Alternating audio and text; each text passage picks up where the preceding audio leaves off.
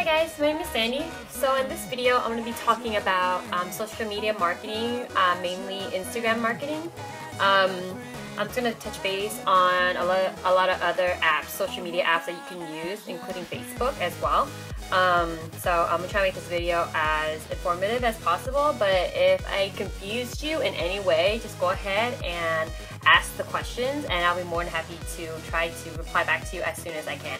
And I apologize if I lose you because I know it can get really confusing, especially with Instagram marketing, but uh, I'm gonna do my best to be as oh, clear as uh, marketing on Instagram. Um, how you can do this. You don't actually go to Instagram and try to buy a marketing campaign. You can, but I'm pretty sure it's really expensive to do that. Um, so the other option is to actually find um, users with um, a certain number of Instagram followers, Insta- a certain number of them. So when I say a certain number, I mean in this in the in the six digits at least. So um, what I recommend to do is um, you can go on the popular page and see what pictures pop up, and then see who are the users behind that. Um, some of the users you will know off of that that they offer what is called a shout out service.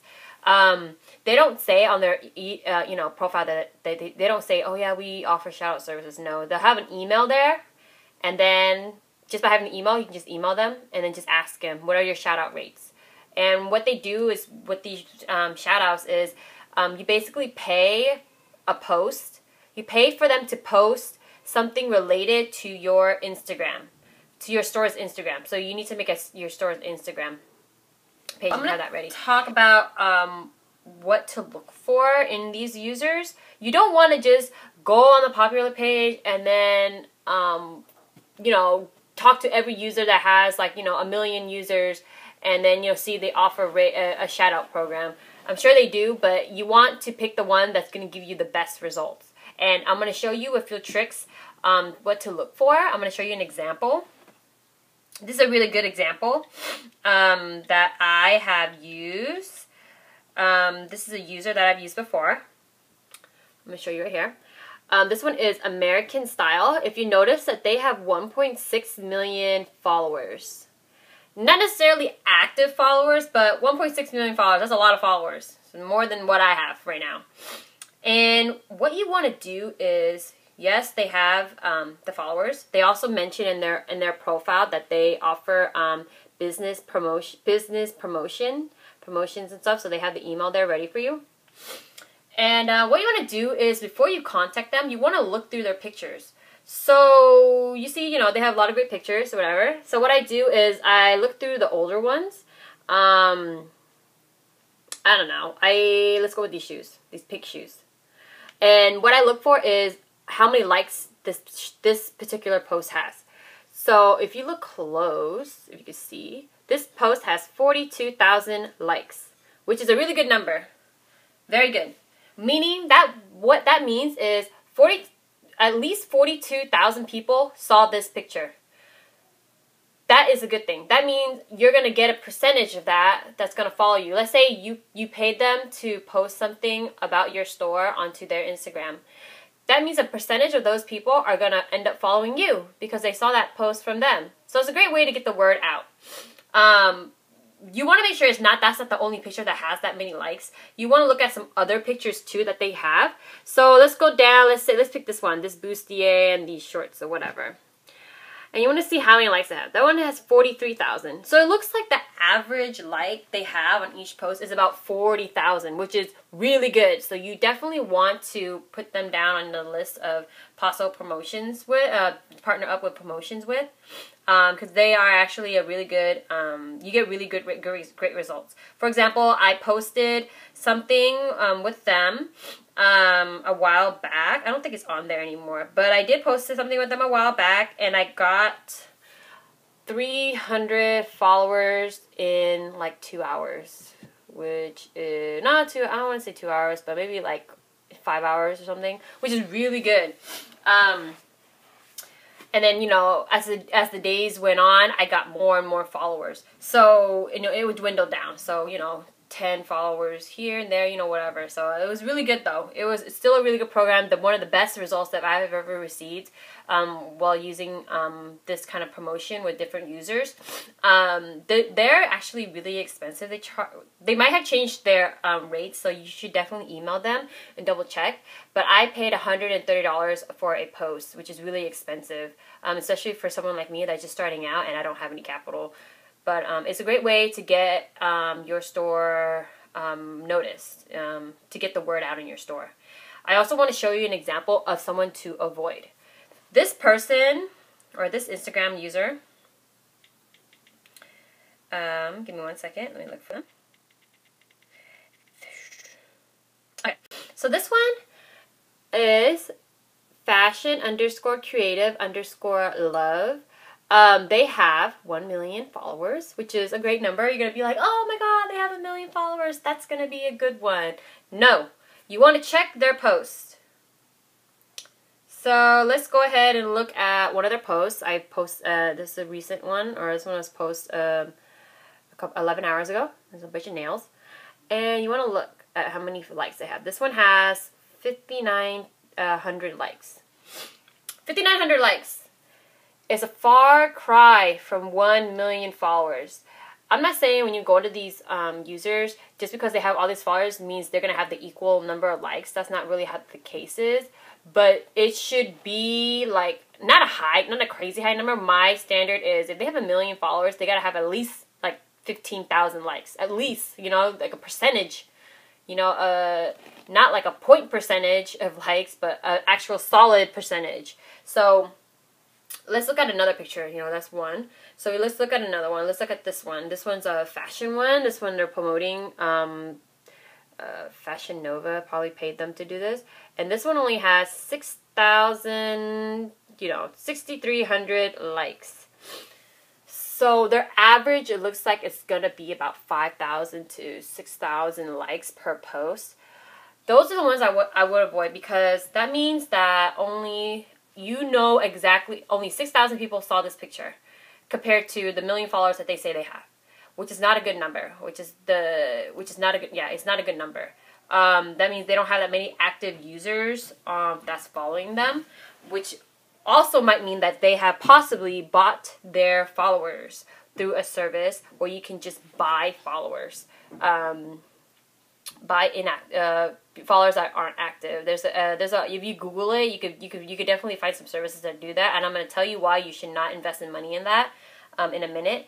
But the main thing about Instagram is you want to market to people that are active. It does not do you any good to market to um, to pay all this money to post on someone's Instagram where they don't they don't have any active users like this one this they had they're saying they have a million followers, but they only have six thousand active users. That's not that's not a good number. You don't want to do that, you know, because only a percentage of those six thousand people that saw that picture are gonna follow you, like less than a percent. So you have to see what is worthwhile to you. You know, you're not gonna pay eighty dollars or whatever to post on there, and then you know only have only get like a hundred followers from from that. That's not worth it. So um, you definitely want to look and compare to see how many followers they have, how many likes they have per picture. So you want to like you know get an average, and then you got to calculate whether it's worth it for you. So you make sure you email them and ask them for prices. Sometimes if this is worth more, if it's a cost a lot more, then you have to think about okay, well, does the likes compensate that? Does the like makes the likes on this on each of their picture make sense for me to pay that? So you that's what you have to think about. Um, you know, it's always about the active users. So I don't I don't care about anybody else. It's about the active users on Instagram. And the active users are important because these are the people that are going to go to your store and they're going to buy stuff. Just like how if you if you are actively on Instagram like I am, I have friends that post pictures of food all the time, and whenever they post a picture of a food that looks really good, I in, immediately crave it. So basically, the active users are the ones where you know, they're not even thinking about like, you know, advertising or anything like that. But when they go through their Instagram and they see a really great outfit or they see something really cute that you're selling, that you all of a sudden you're selling, they're gonna be like, oh, I want that. They're gonna go out and buy that right away. Instant gratification is what um, I'm going at. That's the generation that's going on. That's what's going on right now. Instant gratification. So, you know, those are the people that you want to target. You know, you want to make sure that you've done your statistics, statistics, you looked at your numbers, you make sure it's worth it, you make sure you're worth your time, and then you want to go ahead and do it. So that's why um, I, I stress, you know, always comparing um, followers versus likes, and then also you know looking at comments too. Sometimes people they people post up pictures of like certain outfits, and then people will say, "Oh no, that's ugly," or you know, you listen to listen to these people. You know, if you think if they post up something, you think, "Oh, that's cute," but then someone else, a whole bunch of people, like a majority of people, say, "No, that's ugly," then you listen to them. You know, they're your customers. Not your customers right now, but they might be. So you definitely want to listen to that, and you want to um, take note on that. Next, I want to go into um, buying Instagram followers and buying likes, this is a whole different ball game. When I'm saying you want to going to buy it, you're enlisting a service where they offer plans where they basically say, okay, you can buy 10,000 followers for $100. Or you could buy a 100,000, you know, 10,000 likes for $50 But these programs you want to avoid as far as much as you can because when you buy these followers they are actually they're inactive followers. Basically right when you buy them then the, within the first hour they're, you're gonna get like 10,000 follow, new new followers but they're not gonna do anything. They're just gonna sit there. They're not going to like your pictures. They're not gonna go to your store and buy anything so who cares about them they're, they it doesn't make sense for you to pay that sometimes people think oh, you know, if my store looks like it has all these followers, I might get more people. No, because they're not active. So you have 10,000 followers and then you only have 30 likes for each picture. That's not going to work. People are going to know. People are not stupid. Cust- you know, especially your potential customers, they're not dumb, you know? They're going to see that and they're going to be like, "Oh, this person bought their followers. I don't want to follow them." They are not it's not they're doing something shady or something's going on. I don't want to be associated with that. That's what people think. You're going to lose your credit uh, your credibility if you do it that way. And also you're going to lose um, uh, you know you're gonna lose customers that way. Because um, they're gonna see that and they're not gonna they're not gonna be cool with it. Same thing with buying likes. So if you have, let's say you want to buy a like, you want to buy likes, you want to buy ten thousand likes for a post because you wanted to boost it into the popular page or something people want to see that. Okay, you pay the fifty dollars for the ten thousand likes, for example. I don't know if that's how much it really costs, but I'm just using that example. All of a sudden, you have ten thousand likes on one of your pictures, but all the other pictures you have only has like ten likes or twenty likes or hundred likes. You know, you can't you can't do things like that. People people will find out. People get fishy. You know, they'll they'll see that and they'll that's not gonna fly. So um, that's why I would avoid them. Um, you don't want to lose credibility. Um, you don't want to be deemed as you know running some sort of shady business um, by trying to make it look like um, you're something that you're not. So um, that's why I recommend you know staying away from them. There are services that you can use to do a um, campaign similar to what I was talking about about shoutouts. This one is more of a legitimate campaign. It's called the company that you can use is called Instabrand com. The link is below.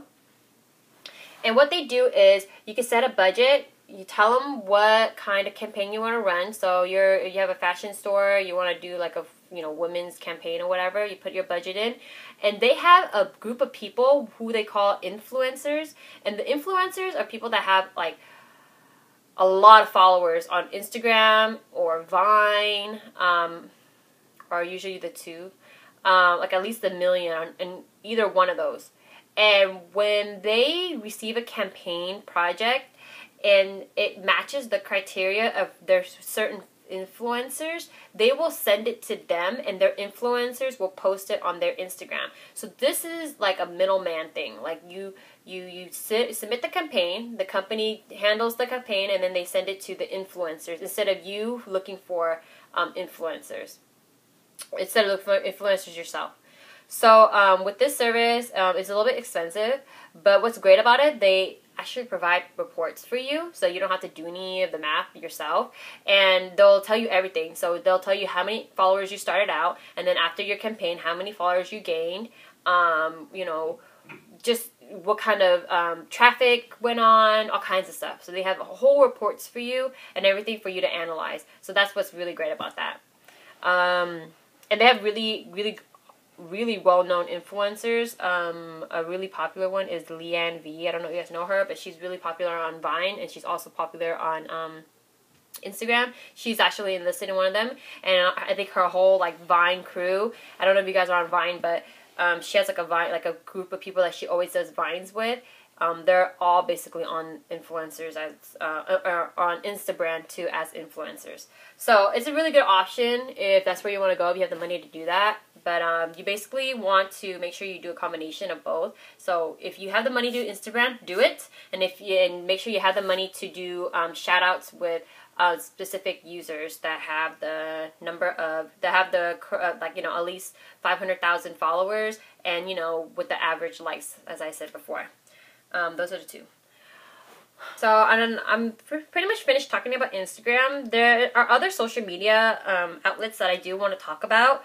Um, I will show you here. So another um, social media you want to use is We Heart It, which is right here. It's an app. It's just like um, Pinterest, um, but in a simpler form. Actually, if you if you did some, I did some research on We Heart It, and it turns out that um, the majority of users that use it are actually between the ages of 16 and 32, um, women. So 16 years old to 32 years old women. So if you are launch, you know, your fashion business and your target is women or you know teens or whatever, you want to actually heavily market on that because it's a really great way to find people um, or have people find you because they're the, that's what the community is basically about. Also, another one is Trendabl, which is in the middle right here. It's basically an Instagram, but for um, fashion, like strictly fashion. Um, I don't know if you can see it, but I went ahead and just spelled it out for you. And uh, you can um, people have stores on Trendabl, like Barney, Saks, like big big stores, like big companies have stores where people can actually buy the clothing directly from the app. You can do that too, but you have to have a really big store to do that. I don't, I don't. I tried inquiring about it, but they didn't get back to me, and I think it's because I didn't have like a really big store. But um, yeah, you could do that. I mean, you can still post stuff and then you know tag your what your store is and just make sure you put the links and all that stuff um, also, don't forget to add hashtags to everything because if you're just starting out, you want you want you want people to find you. So especially on Instagram, I mean, not use like don't use like a million hashtags, but you want to use hashtags that are relatable to your post, and then also hashtags for We Heart It and Trendabl. Also, don't forget to to make a Pinterest and do um, you know add your links post your products and hashtags and all that stuff as well so your product can get out there. And then if you have a facebook um, go ahead and make a page for your store. Actually um, i should mention that if you have facebook and you also have shopify as your e-commerce plat- platform and i will go i'll talk more about this in the e-commerce platform video but um, you can actually sell your products directly out of facebook because facebook and shopify um, work together. So you can um, collaborate that and do that. And every time you update your Shopify store, your Facebook store will be up will, will be updated at the same time. So that's what's really neat about Shopify. They actually have a lot of apps in Shopify that you can use to do all kinds of stuff. So um, that's why I re I recommend Shopify. Um, but I'll talk more about that in the e-commerce platform video. So um, make sure you check that out. So I think that wraps it up with my video on social media marketing. Um, if you have any questions, go ahead and ask them and I'll try to get back to you as soon as I can. Um, don't forget to check out my other videos. Um, also subscribe to my channel. I am going to be talking, I'm, gonna, I'm also going to be adding more videos as we go, as we go along. Um, and you know, most of my videos are very informative. I kind of just try to get straight to the point. Um, but other than that, I don't think I have anything else. Um, if you need referrals as to which Instagram users to do shoutouts with, um, I have a list. I don't. I mean, I don't have a, like a huge list, but I do have some people that I use that have got really great results with, and I'll be happy to share that with you. Um, just just let me know, and uh, I can get that to you. Other than that, thank you so much for watching, and um, I hope you enjoyed the video. Bye.